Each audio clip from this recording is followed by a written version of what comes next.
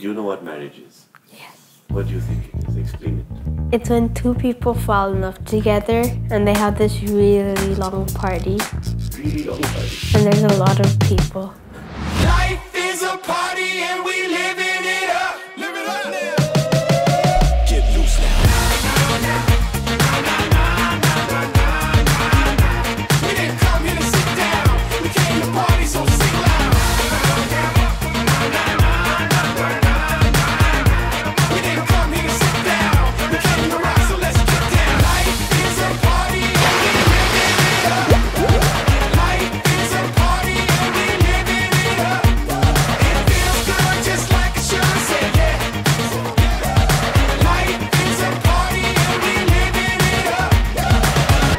That's what marriage is. Yeah.